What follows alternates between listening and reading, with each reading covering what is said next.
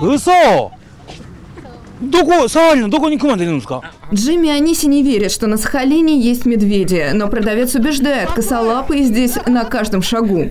Для японских операторов это хорошие кадры. За три дня им нужно снять двухчасовой фильм. Но расслабляться на рынке не стоит. Вот уже Джимми уводит на другой конец рынка мерить шапки. Съемочная группа пытается догнать его.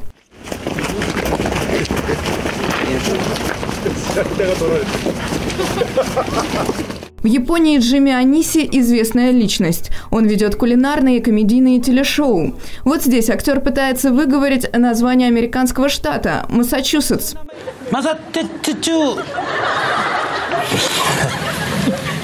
マ Главная задача участников телешоу – не рассмеяться. Но удержаться невозможно, и в наказании их лупят резиновыми дубинками. А выговорить название штата у Джимми так и не получается. Зеркало, зеркало. Тем временем на Сахалинском рынке продавцы активно предлагают купить лисью шапку. Актер сопротивляется. 9 тысяч рублей дороговато. А вот шапку из барсука, да еще вместе с перчатками, готовы уступить всего за 5 тысяч. Надо соглашаться. Впереди два дня съемок, а на острове холодно. К тому же цена весьма привлекательная. Не он, не я в Осаке всегда, когда покупаю, прошу сделать подешевле, и мне делают скидки. Но в Японии таких вещей просто нет. В новой шапке актер спешит наконец попробовать настоящую сахалинскую еду.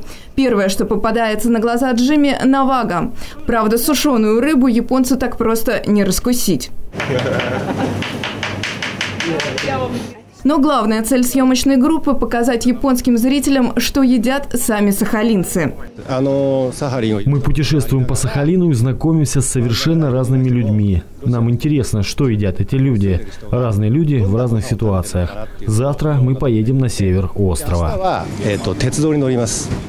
Продавец рыбы рада показать актеру, что она будет есть на обед. Все это можно увидеть на соседней витрине. Однако, как только Джимми предлагает ей покушать на камеру, женщина заявляет, сегодня она точно не обедает. Я вообще на диете. Но через несколько минут Джимми улыбается удача. Актеру удается убедить другого продавца пообедать на камеру. А поужинать Джимми договаривается с оператором нашей программы. Все это и другие приключения актера на Сахалине покажут по японскому телевидению в конце ноября.